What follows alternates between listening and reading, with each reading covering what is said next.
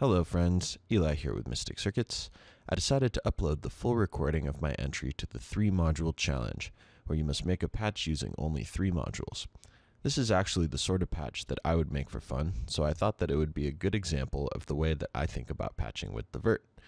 The entire patch consists of a feedback loop between sheep and the vert, with switches mixing different audio outputs of sheep and also changing modulation to sheep's FM input.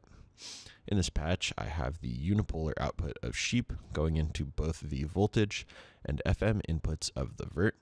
Then the bipolar, sub-oscillator, and 1-bit outputs are all going into the dirty Vactrol-based inputs of switches.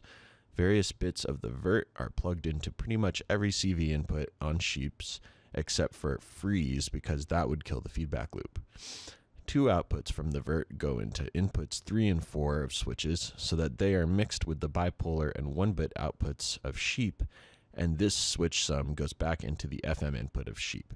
This makes it so that the vert not only sends gates as modulation back to sheep, but also sends some audio rate modulation mixed with some stepped voltages to the FM input, all while switches is switching these modulation sources on and off. At the beginning of the recording, you will hear that the vert's internal clock rate is set to be moderately slow, yielding some rhythmic results. Once the clock rate is switched into audio rate, chaos ensues, but about halfway through the patch, I plug the sub-oscillator output into the vert's clock input, making the entire rhythm of the patch controlled by the feedback loop. This can yield chaos when the loop is searching for stability, but then it settles into an equilibrium point and allows the patch to create a pattern on its own. I hope that this patch gives you some ideas about the usefulness of feedback and how to patch generative sequences with the vert. Thank you for watching.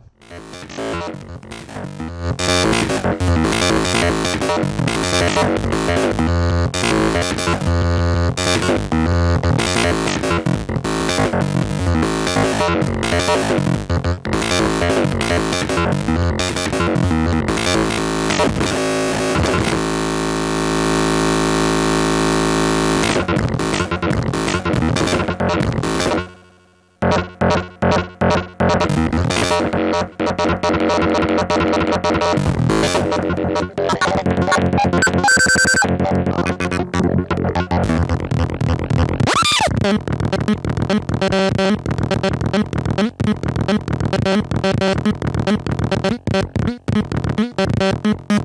you.